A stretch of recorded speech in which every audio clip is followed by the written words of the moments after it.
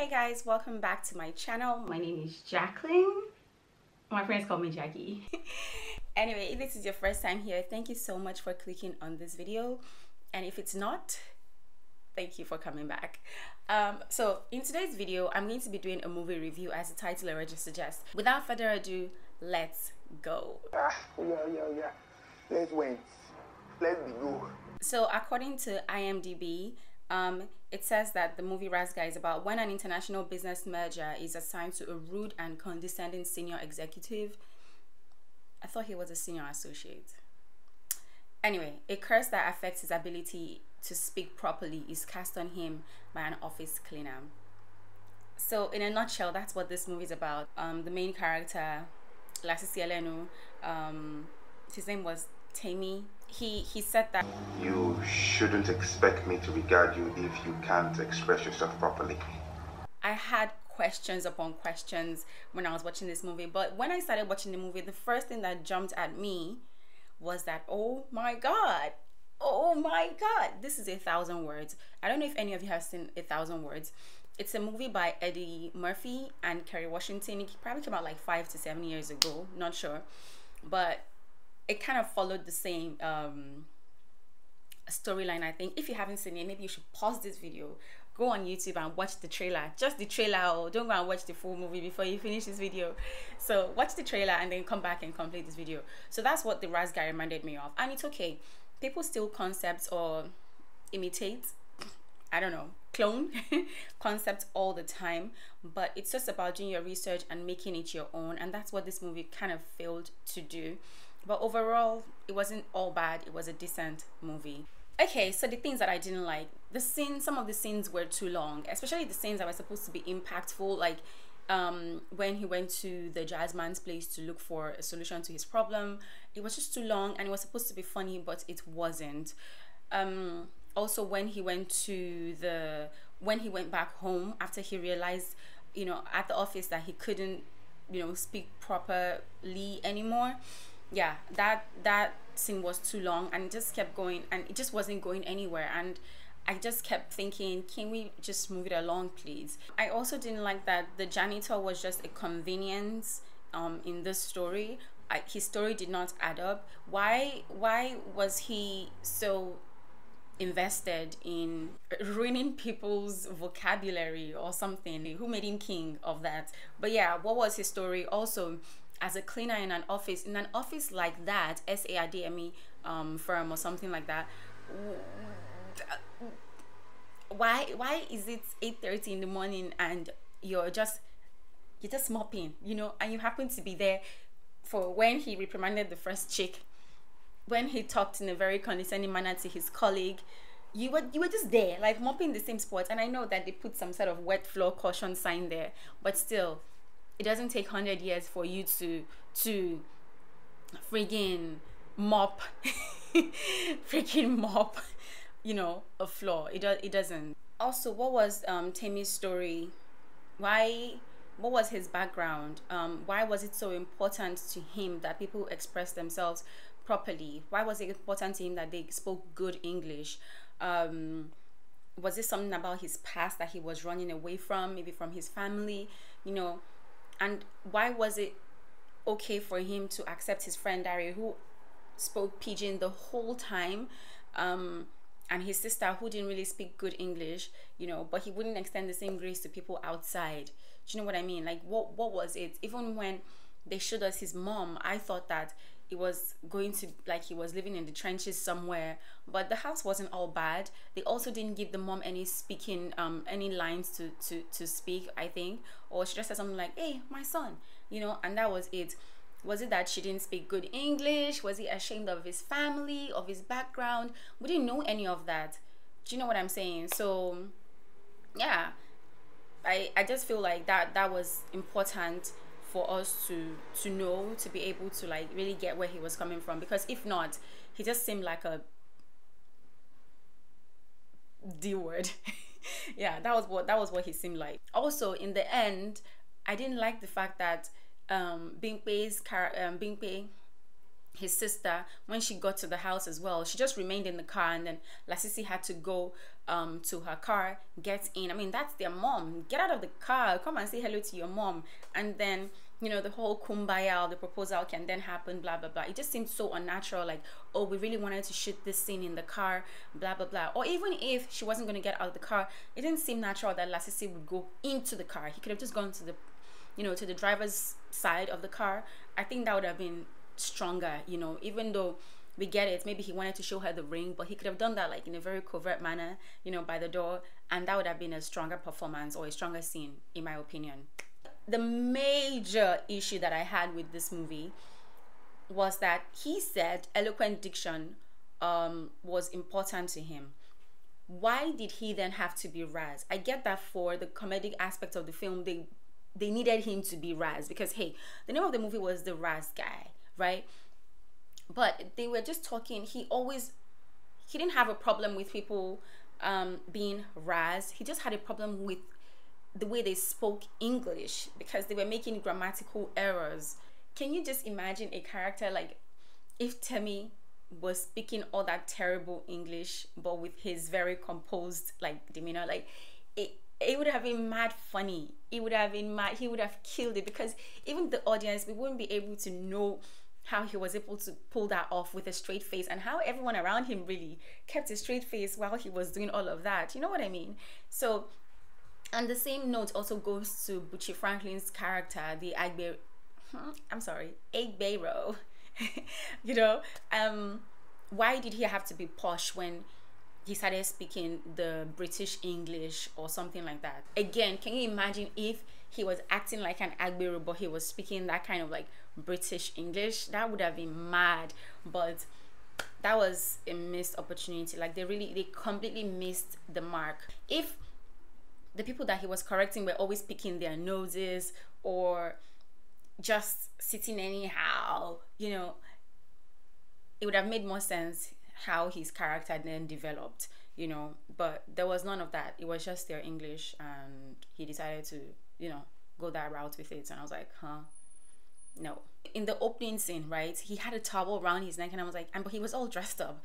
So I'm like, are you going to the office? Did you sleep in your work clothes, or are you already dressed, but you have a cold towel, a wet towel, like around your neck? It just didn't make sense to me. But then I know that it was because they wanted to, as the scene moved along, it was because they wanted to have that dramatic moment of Nadine ringing the doorbell and him taking off the towel and throwing it at you know um Shaggy's character Dari I think Dari you know, and he's going to do something with it.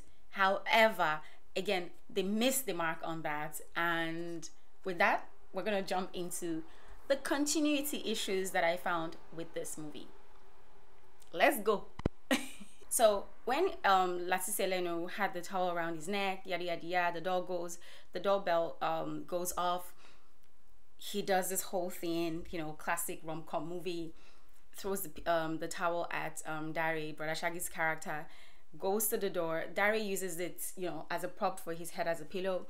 They cut to the door. He um, answers the door. Nadine is there. God, I hated Nancy Isime's voice in this movie. Oh my god, I was so frustrated. I was like, what the hell is this? Like, who okayed this? You know? But anyway, but by the time they cut back to Shaggy, he was using the towel as like a cover stuff, you know, like a bed sheet or something, you know. And I was like, huh? What was that? What was that about? The next thing is when Temi came out of the room um, with his towel around his neck, and we saw the the living room. The table, the books on the table were pushed forward, like they were closer to the TV. But then by the time they were doing Dari's close up, the books were closer to Dari. and I get why they do that. Sometimes they do that to make the shots interesting and to just break, you know, empty spaces. But then it just did not work because that just kept going back and forth and back and forth and it was kind of distracting to me. So then he gets to the office and by the time he enters to go for the meeting, it was 8:31 I think. So while he was while he was still at the meeting, um, Aisha came to him to tell him that he wanted um, the boss wanted to see to see them. So he left, and then by the time they came out of the meeting, obviously it was immediately. It was past three like maybe five minutes past three on his wristwatch. And i was like what the hell? How did we go from 8.30 to past three? You know so these are things that you really really have to have to consider when you choose to put big wristwatches and expensive looking wristwatches and you know wall clocks in your movie. It's very very important all right? It's only if you say you want to establish the time at the beginning of the scene and you're not going to show it again then fine that works. But if you're to keep going back and forth it's it's just not to work. Do away with the um, with the clock altogether. If you're not going to take um, the time to keep changing um, you know the stuff it's very very important. I know that this might seem like nitpicking but honestly guys when it comes to movie making these things are very very important. They are. Otherwise they'll just be very distracting you know it's only they tell us that Lasisi Elenu had some sort of superpower that he was able to make time stop and speaking of superpowers what was that thing you know for for every time that they did this to him he kind of shuddered like people do this to people all the time. And I've done it to people before and I've never seen them do this like oh something oh something something just hit them. I've never seen it happen, you know. But what was that? I think it was just too telling like we knew that oh something was going to happen soon. You know, which then brings us to the last time when the guy was talking about it like if someone snaps at you the fact that he didn't even reference that oh two people snapped at me he, you know, because he shuddered, so he must have felt like people snapped at him, right? So it just did not add up. And still sticking to the time, he fell asleep in the office overnight. Um, he woke up. Aisha came to him, asked her what the time was, and she said 9:30. But according to his watch, it was like 10:15 or 11:15 or something like that. So again, but this could have been fixed if the editor was just you know paying attention because as at that time when he put his hand to his face the editor didn't need to use that shot he could have used the shot where aisha was actually saying the time 9.30 you know and then cut to him when he was done with his stretching and all of that but the editor also made the decision to use that take which i don't understand why he did that so another thing was when um Temi went to the restaurants to see Nadine for lunch, but when he got there, she was with her friends and he just let her be. She was wearing a different outfit, but a couple of hours later, I'm guessing, she went to his office, but she had a totally different outfit on. And her first line was, You missed lunch. I'm like, How did you get time to go and change your outfits, to go and do all of that? Like, this didn't make sense to me. And then he had invited her over to the house much later in the night which she wore the same outfits that she had on when she went to his office. So I thought that a stronger um, delivery would have been if she had the same outfit that she had on at the restaurant in his office and then had a different outfit on for later in the night because she was going to be meeting his sister for the first time and that was supposed to be like a big thing right but i don't know who messed that up somewhere but yeah that was what we saw on our screens the next thing is um Buchi's character, Buchi Franklin, the Agbero, um, when we first saw him at the cashier point in the supermarket, he had just one chain on. One. But by the time we saw him in the restaurant at the bar with um, Temi, he had like three chains on or something like that, you know, in the white shirt. But by the time they cut to his close up, he had just one.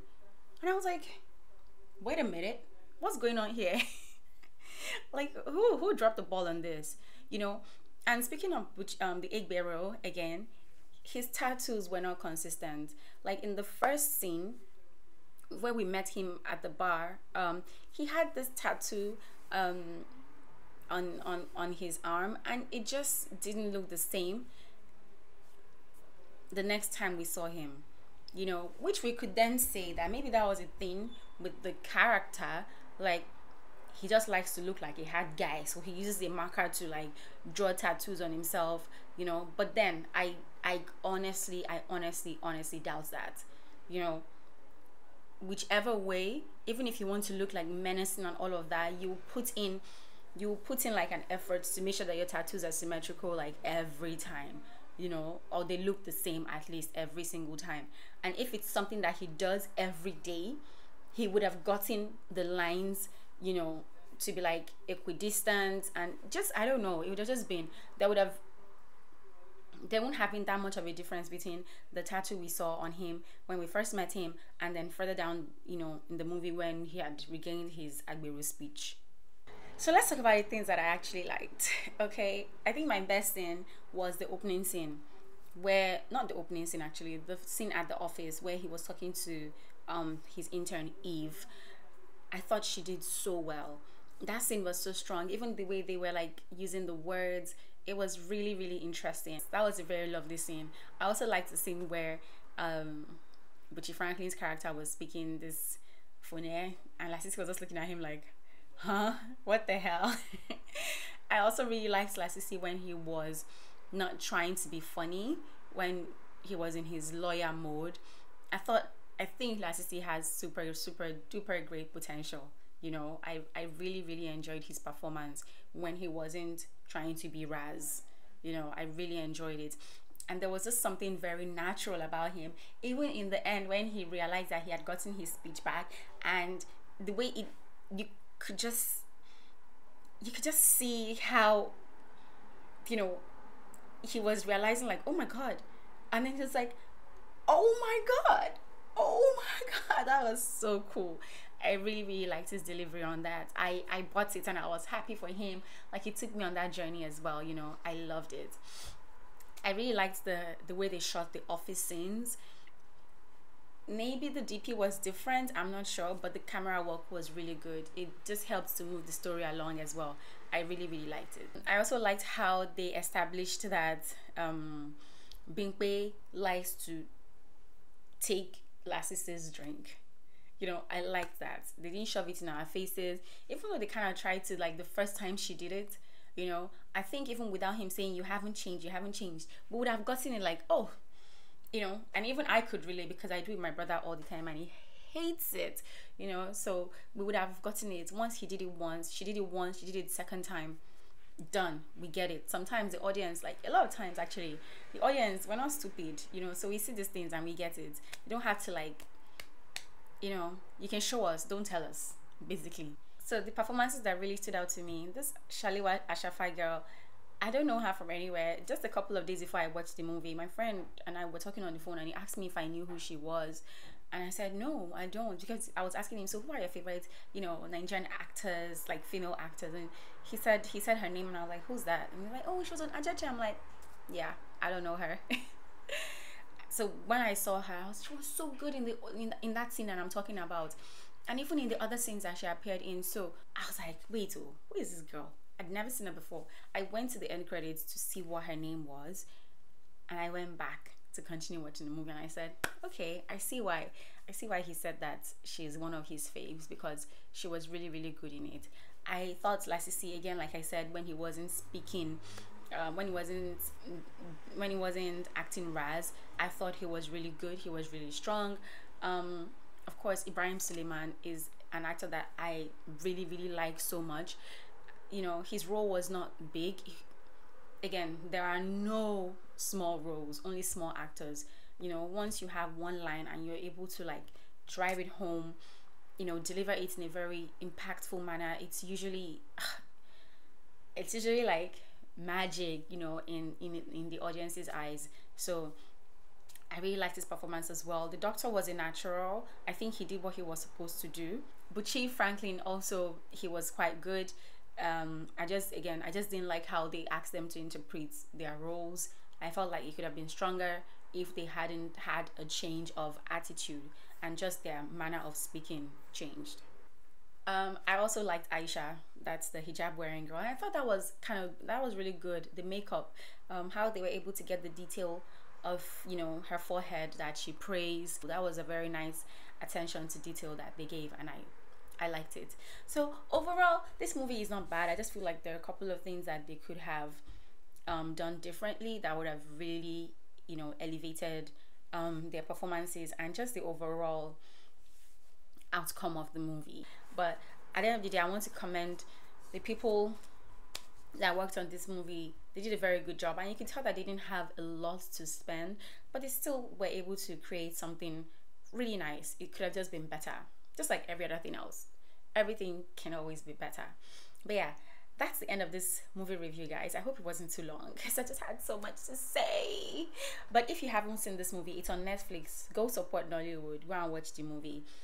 But if you have seen it, let me know what you think about the movie. And have you seen A Thousand Words? What do you think? Did it remind you of A Thousand Words or was I just off on that one?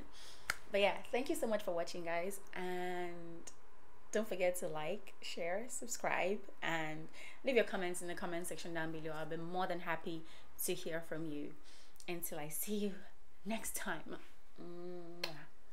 Bye.